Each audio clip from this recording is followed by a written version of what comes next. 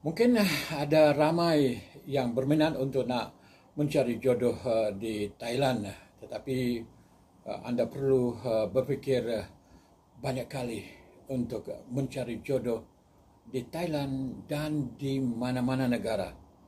Kerana ada masalah besar yang mungkin tidak dapat kita mengatasinya dan akan menyebabkan kegagalan bukan saja kegagalan ketika mencari uh, jodoh kena tipu dan lain-lain tapi juga sekiranya kita mendiri rumah tangga pun mungkin bukan mudah untuk menjadi suatu keluarga yang bahagia. Hamba ada cerita untuk dipersembahkan. Assalamualaikum dan salam bahagia saudara dan saudari yang budiman sekalian. Dalam uh, lima minit uh, kali ini, saya akan uh, membincang mengenai macam mana mau cari jodoh di Thailand. Tapi saya ingin memberitahu bahawa bukanlah perkara yang mudah. Pertama sekali, perbezaan budaya. Uh, di sini orang di sini rata-rata bercakap bahasa Thai. Uh, kebanyakannya begitu. Bahasa Inggris tidak boleh. Bahasa Melayu sudah tentunya tidak ada. Bahasa Inggris pun uh, jarang kecuali di Bangkok uh, dan di badan-badan besar uh, memang boleh bercakap bahasa Inggris. Uh, soal bahasa ini adalah uh, satu uh, perkara yang memang Uh, sukar diatasi. Sekiranya kamu tidak dapat berkomunikasi, berhubung uh, dengan orang uh, yang uh, kamu berhajat untuk nak uh, uh, menjadikan istri, uh, maka akan jadi uh, masalah uh, besar. Itu yang pertama. Yang kedua soal budaya di cara hidup. Cara hidup orang di sini uh, tidak sama dengan cara hidup orang Melayu. Ah, di sini bebas orang di sini memang cara hidup bebas uh, uh, walaupun mereka ada uh, agama agama Buddha tapi cara hidup mereka adalah bebas di mana wanita uh, bukan saja uh, um, hidup bebas tapi juga mengamal perkara-perkara tertentu uh, seperti juga, juga dengan lelaki yaitu minum arak.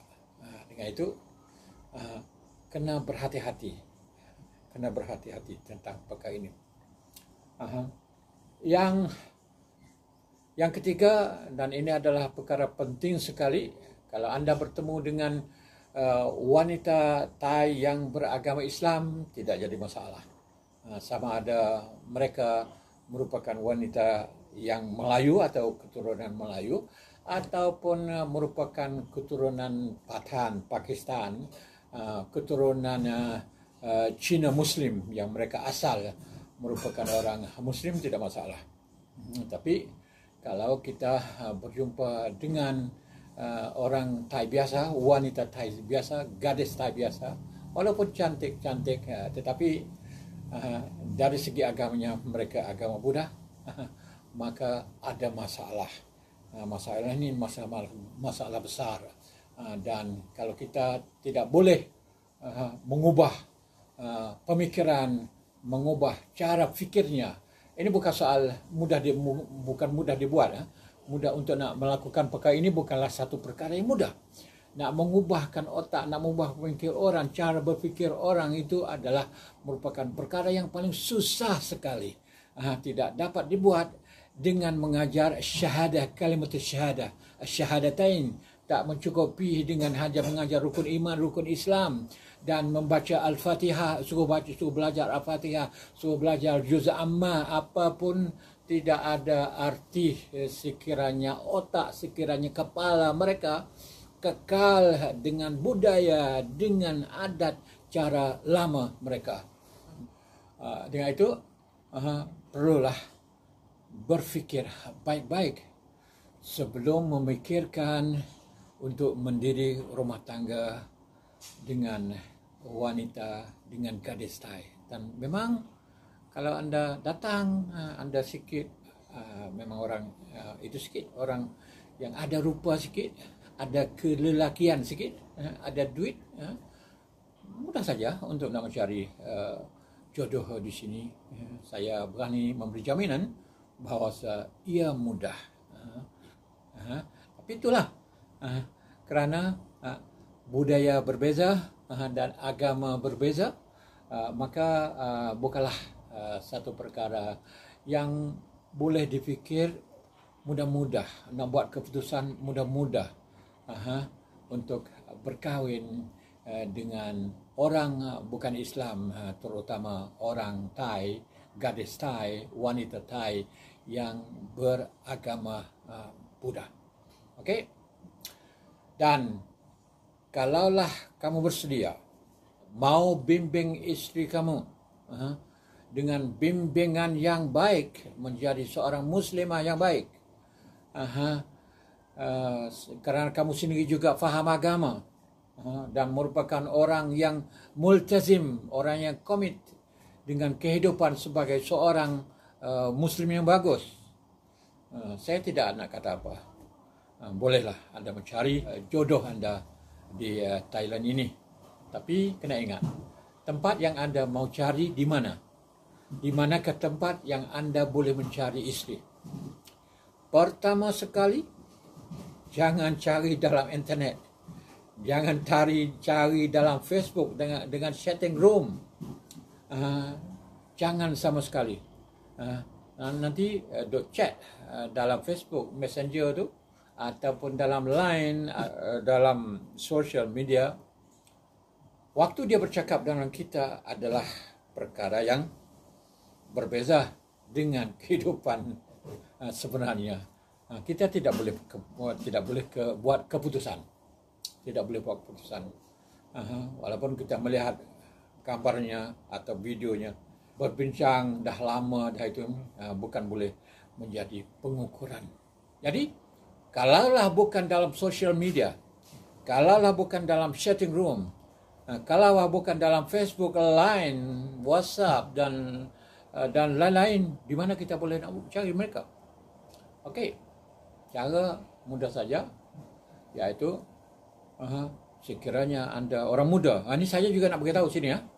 Saya tak nak beri sokongan kepada orang tertua untuk nak berkahwin ke Thailand yang sudah ada isteri dah mahu nak kahwin ke Thailand tak usahlah. Uh, sebab anda duduk dalam dunia lain dah. Uh, nak mari berkahwin dengan orang sini dah tak dan dah. Uh, jadi nanti kena tipu pula. Kalau nak kahwin saya sini, saya nak adalah uh, lelaki muda uh, yang belum kahwin lagi uh, boleh datang berkahwin ambil ini saya sokong memberi sokongan sepenuhnya uh, mari mengambil uh, anak-anak orang taji sini berkahwin dengan orang taji sini uh, uh, itu yang saya sokong. Jadi ada kupu uh, ada kupu. Ya perbezaan umur pun janganlah bagi jauh. Uh, kenapa? Kalau kita umur 50 um, dan wanita yang kita akan nak kahwin itu umur uh, 20 hmm, 25 okey. Uh, memang boleh cari. Dan saya yakin boleh carilah. Kalau kita umur 50 umur 60 pun kita boleh pergi berjumpa dengan wanita yang gadis yang umur 20 25 kita boleh cari. Tapi kena kasihan dia juga. Uh, sebab bukan masalah apa. Masalahnya uh, apabila kita sudah mendiri rumah tangga uh, dan dia ada perjalanan hidup masih panjang tapi kita dah 50 dan 60 perjalanan hidup dah pendek. Dan kalau kita tidak ada, bagaimana isteri kita akan hidup? Siapa yang akan menanggung? Siapa yang akan menjaga mereka? Khususnya kalau tak ada anak. Kalau ada anak pun susah. Sebab mungkin akan ada masalah. Banyak lagi yang mendatang. Dengan itu saya tidak menasihat orang yang dah tua-tua 50, 60 untuk nak berkahwin uh, dengan orang bukan Islam, orang bukan Muslim, kerana uh, akan menjadi masalah kepada dia waktu uh, kita tidak ada lagi uh, dan tinggal dia seorang diri bersama anak. Siapa akan menjaga mereka? Siapa yang akan membimbing mereka? Yaitu istri dan anak-anak. Ha, ini adalah penting. Dan saya pernah jumpa dengan beberapa orang wanita di Hajai dan di uh, satu wilayah jumpa nama Islam. Uh, nama di sini sekolah. Ini budak sekolah, budak wanita sekolah. Nama Islam. Uh, tetapi uh, dia bukan Islam hmm, sebab tinggal balik tinggal dengan datuknya, dengan neneknya di kampung uh, menjadi orang Buddha. Uh, tidak menjadi Islam sebab bapaknya sudah ditinggalkan dah dah mati bapaknya dah mati uh, dia dengan amaknya balik uh, tinggal di kampung menjadi orang Buddha semula. Ini saya jumpa saya lihat macam tu. Nama memang nama orang Islam lah. Fatimah binti Abdullah. Terkejut saya lihat. Uh, dan saya sudah berjumpa banyak orang dah macam ni. Dan apabila saya cuba bercakap dengan dia dia kata dulu saya berasal Uh, dulu waktu budak-budak pernah duduk di di selatan uh, dan mak dia berkahwin di sini. Uh, tapi sekarang bapa dia sudah mati. Uh, dia pun balik dengan maknya dengan maknya ke sebelah utara sana. Uh-huh. ya. Dan dan masih ingat sikit-sikit tentang ajaran bapa dulu. Tetapi saya sekarang menjadi orang Buddha lah. Ha, ini saya berjumpa beberapa orang daripada mereka gini. Nama tu, nama tu nama Islam, nama orang Islam, uh, nama orang Melayu. Uh, tetapi uh, uh, dia bukan lagi orang Islam kerana telah kembali uh, kepada agama uh, Buddha. Hmm, ini yang saya jumpa. Dengan itu saya tidak uh, mau menyokong orang tua-tua uh, yang sudah tua-tua 50 60 datang nak berkahwin uh, dengan uh, anak dara di sini umur 20 umur 25 saya tidak memberi sokongan sama sekali. Kalau siapa nak marilah yang muda-muda. Hmm, yang muda-muda yang gagah yang perkasa yang hebat. Uh, dan boleh kalau boleh handsome juga. Uh, supaya dapat menarik anak dara di sini. Uh, itu saya memberi sokongan sepenuhnya